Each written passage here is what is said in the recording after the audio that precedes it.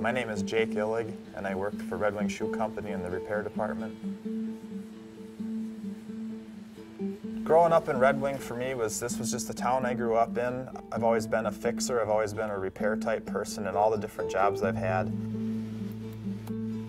I really enjoy working with my hands. I, I don't mind getting dirty, so I mean, I really enjoy this type of work. It's hands-on, it's, it's building, it's a craft. On a typical day, shoes are received into our returns department. They come to my department. We open the boxes, we enter the, the shoe repairs into the system to track it.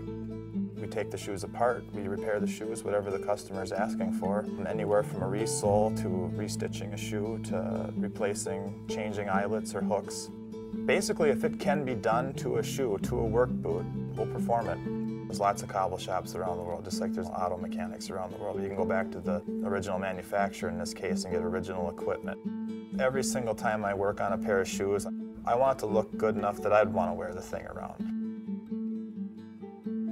When I stitch a shoe, I try to hit all the same holes with the thread, but that sole is brand new on the shoe again. So our standards are very, very high. I want it to be perfect uh, when it goes back out. And our customers expect that. They want it perfect when they get it back. They want to put it on their foot and it feels exactly how it did, only a little more support when they sent it in the first place.